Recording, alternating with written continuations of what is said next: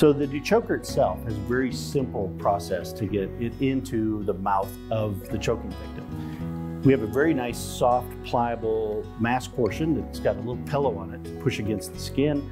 We have a portion of plastic that comes out that actually goes into the mouth that pushes the tongue out of the way. This portion is shorter uh, for each size of the individual. For this one, which is the infant, it's very short, so it just comes into the mouth to push the tongue out.